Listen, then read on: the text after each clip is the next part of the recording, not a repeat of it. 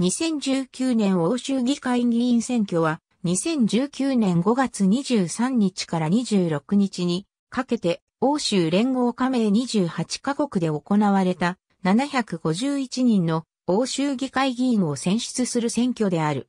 1979年に初めての選挙が行われて以来直接選挙によって議員を選出するのは9回目。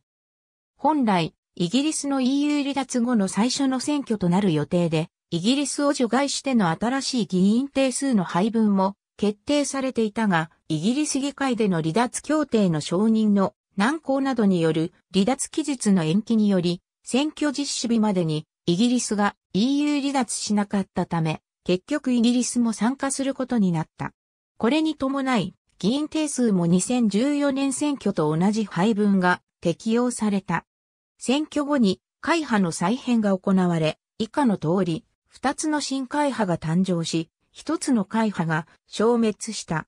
従来の欧州自由民主同盟グループに、フランス大統領、エマニュエル・マクロンの与党である共和国前進などが合流した新会派、欧州刷新を結成。